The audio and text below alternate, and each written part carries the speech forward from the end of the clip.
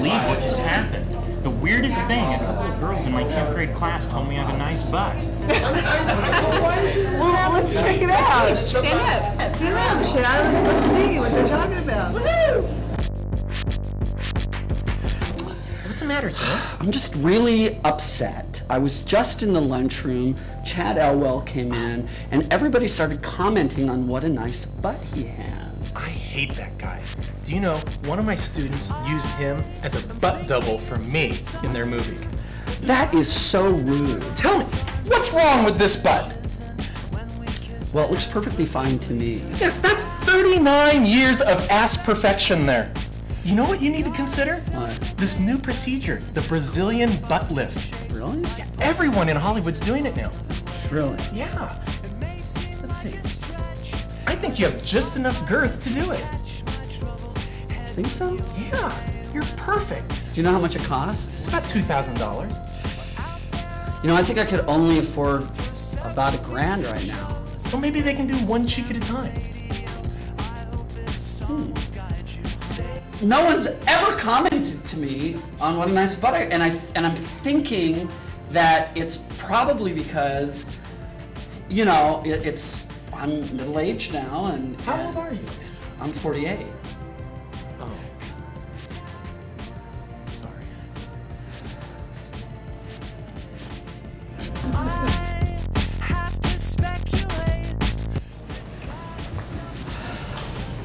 Girls, girls, can I ask you something? Sure. Sure. Uh, okay. What do you think of my butt?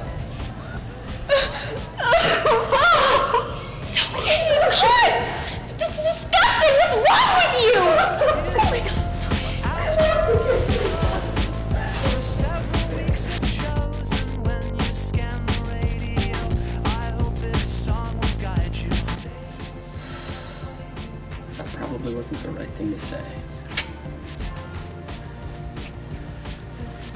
Well, okay, I just noticed you around, and some of the kids have commented that you're kind of buff and everything. And well, um, you know, I'm feeling some middle-age anxiety, and I was just hoping you could maybe, you know, set me on a track for just kind of bulking up and maybe, you know, adding some muscle. Yeah. Why don't we, uh, why don't you start here on the bench press and give it a few tries, and I'll be over here. I'm just going to do a few more curls, and, and uh, why don't you get set up on here? Oh, okay, what do I do? Uh, just raise the bar. And then what? And then bring it down to your neck and kind of do a couple of pushes. And when you hit about 50 or 60 or so, uh, let me know. That'll, that'll get you started. Okay. Okay. If you get a spot or anything, uh, let me know.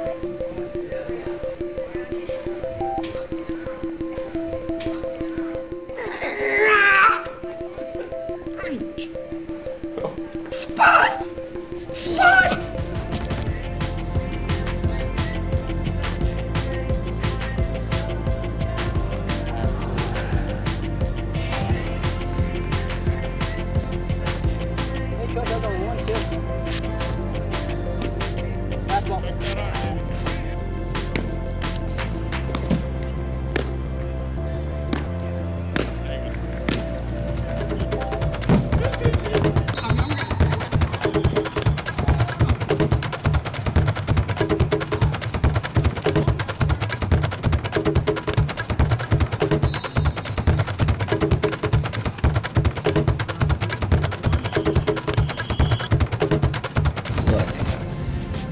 I want to change my image a little bit. I, I, I need to do something, and I, I heard through the grapevine that you have uh, a nipple pierced.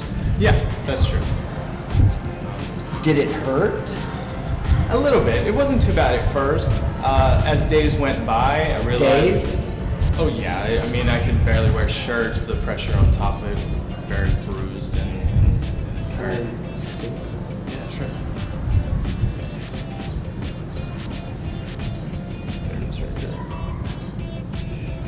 it, it took a while before it really healed up. It's okay. Okay, You want me to put it away now? please. I understand you have a tattoo, and you know, well, I'm thinking about doing that myself, and I was wondering maybe if you could give me a little, you know, advice. Sure. Uh, yeah, I got one two years ago when I was named the, the varsity baseball coach. It's actually an Old English V. Oh, That's that right there. That's right. It looks kind of like a pair of antlers, and then the uh, paw symbol is a Chinese character for That's heart. a, that's a paw. Well, it's a, it, it means heart in Chinese means heart? characters. Okay, But uh, you know, inside every victory, you gotta have heart. It it's impressive. Um, how much did it cost? By the time I was done tipping the guys, a hundred bucks.